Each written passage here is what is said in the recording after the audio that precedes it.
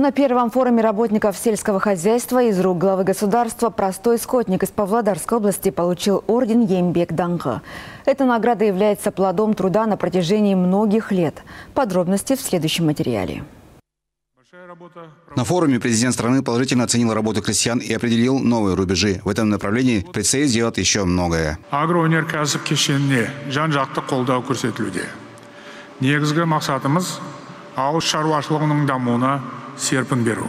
Бүгінде жаһандық азық түлік қауіпсіздігі индексіндегі еліміздің көрсеткіштері жақсарып келеді. 2022 жылы осы рейтингте 32 орынға шықтық. Қазақстан тмд елдері ішінде көш бастап тұр. Бірақ жайбарақат отыруға болмайды. Ауыл шаруашылығы бәсекеге қабілетті озық сала болу керек.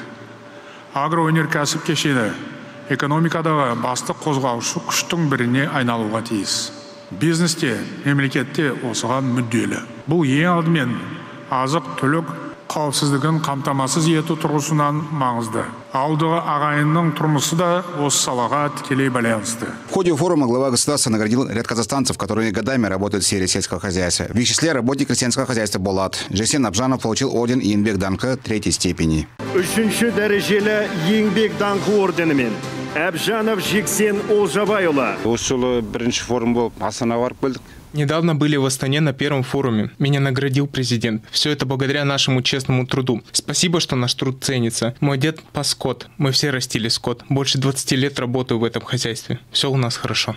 құдайға шүкір бәрі жақсы Крестьянское хозяйство Булат было создано более 20 лет назад. Здесь занимаются разведением казахской белоголовы и породы Герефорд КРС, а также овец. Первоначально я занимался э, мелким рогатым скотом.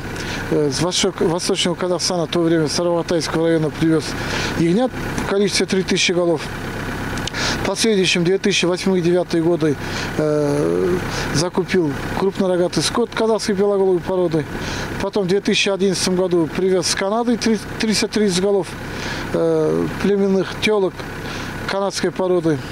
В том числе э, 18 бычков, э, 288 где-то, получается, телочек привез через Астану на самолете. Вот. С тех пор работаем.